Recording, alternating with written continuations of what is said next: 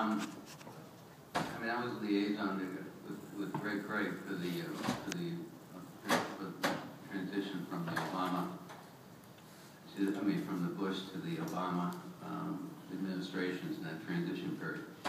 You know, typically, you know, presidential candidates, uh, even the nominees of the party, do not get really what, what President-elect Bush memorably called the sexy stuff, uh, in terms of briefings. Uh, the two candidates, I assume uh, Governor Romney is getting these now. The, the nominees of the party are offered intelligence briefings by career CIA people, um, but they're more they're analytical. They're what we used to call pea and glean briefings, which is one of the many euphemisms from CIA days. I'm, I'm trying to trying to purge my memory because I can't get it out of my head. But um, they're analytical.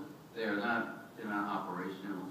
They're not giving a lot of uh, you know, specific uh, about agents and agent operation. That only that only happens once the election takes place.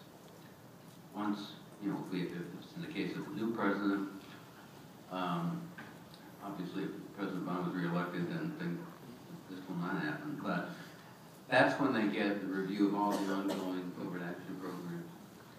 Uh, that's when uh, President-elect Obama first got a detailed briefing on the enhanced interrogation program. I mean, you know, by that time, much of it, uh, any reader of the Washington Post and New York Times probably had about 85% of it, but he, that was his first.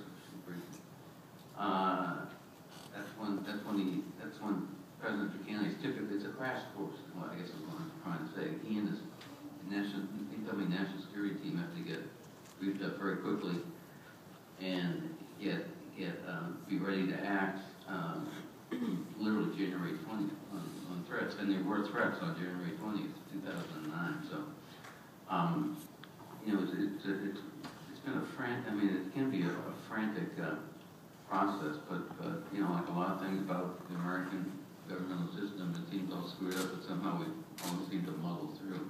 That's how it happens. We would always brief the incoming